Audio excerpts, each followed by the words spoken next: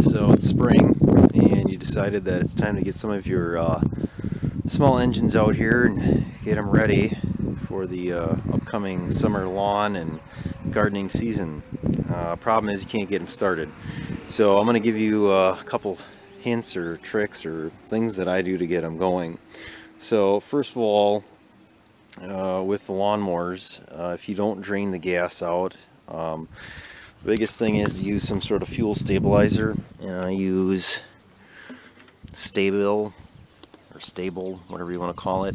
Um, I run that year round. Uh, it seems to keep the gas fresher and less issues. So if it does sit in the lawnmowers over winter, the gas won't be bad. Otherwise, the gas will gum up. Um, also, I only use non-ethanol fuel, so there is no ethanol in it, which I think helps as well. So I'm usually running 91 octane. So that's number one thing. So if you are doing that and you still can't get them started, first thing to check would be to make sure that it has fuel, because maybe you ran it down low thinking that it was a good idea. So like this one here, we can look in, and there's fuel in there. Let me wiggle it a little bit. And you can see it move. So it's got fuel, and uh, on these lawnmowers, which is nice, they actually have a primer bulb. And oh, this cap is such a joke to get on. Never wants to go on. All right, there we go. So here's the thing about that. It says, uh, you know, directions on the lawnmower three times. You're supposed to prime it. If this thing was sitting all winter, which it was, you're going to prime this thing a lot. Um, just keep priming it until it seems like it goes hard. Otherwise, you're going to be doing a lot of pulling before you get it to pop off. So biggest thing is, is if it has a primer bulb, you may need to prime it more than three times to get it to go because it could be dry. Um, I would do that before I would do anything with the spark plug or any type of carburetor adjustment. Prime it up real good. If you primed it a bunch and you can smell fuel or maybe there's even fuel coming out the exhaust, then it might be time to pull your spark plug and check it. See if the spark plug's wet. If it is, then you may have fouled it. Um, so first thing I would do is make sure you uh, prime it up well before you start pulling it. So on this tiller here, there is no primer.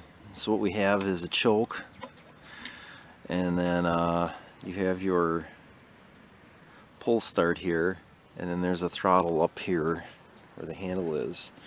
Um, so there's no primer, so the way that it primes the fuel is as you're pulling it, it will then, there'll be some vacuum in the uh, engine that'll end up pulling fuel. You could end up pulling it a lot before it's going to prime. Um, there's no electric uh, plug-in feature like on a snowblower where you can just crank it over to get that prime. So in that case, what I would do is before you get too carried away, is use this, which is a fogging oil. And what I would do, and it's also made by Sta-Bil, is take your spark plug out. So you'll need a spark plug socket or a deep well socket I guess. You don't have to have a spark plug socket but I have one. And the difference is there's like a little rubber piece in there to help from breaking it I guess. So take your spark plug out and then I would take some of this fogging oil shake it up and then just spray some down the cylinder now this is usually designed for uh, fogging the cylinders before you put them away you know it says right on here for, for storing the engine um, but this will help it kick off and run. So if you don't have fuel, like I pulled the spark plug, I pulled this thing quite a bit this morning. I, there was no fuel, the spark plug wasn't wet. So uh, I sprayed some of this down there and that stuff will, will burn and it'll really puff because it's burning oil so it's gonna uh, be pretty smoky. But what it's doing is as the engine is spinning, it's creating that vacuum and starting to pull fuel so then um, it ran a little bit on the fogging oil died, I pulled it a second time and then it was running on gas.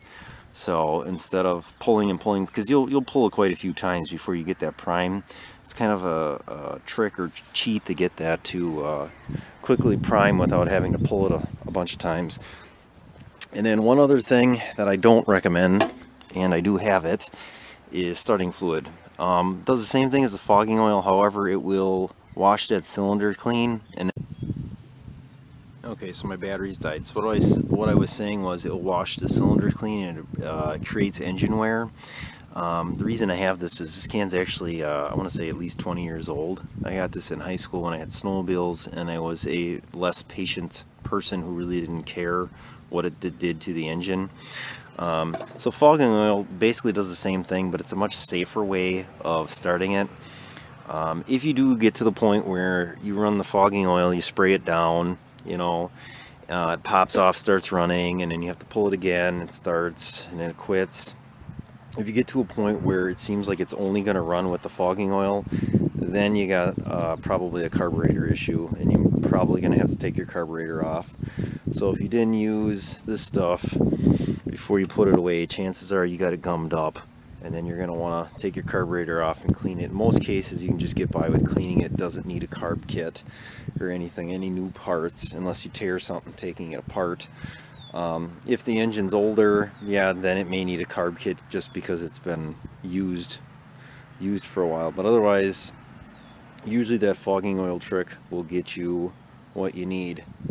So, and these are all uh, four cycle engines. They're not mixed. They're not a two cycle, a mixed gas two cycle engine. So I would do probably a similar thing on a two cycle, which I'll, I'll probably do a different video on some of the weed whacker and leaf blower, that type of thing. So here you go. So if you got questions, comments, just leave them below, and I can uh, get you get you hooked up. Um, and if if you do get to a point where the carburetor doesn't do it, then you may have like some sort of catastrophic failure. But chances are that's usually not the case. I would say nine times out of ten, it's a fuel-related issue where it's not getting its fuel, or uh, or you got a carburetor issue. That's nine times out of ten. So there you go.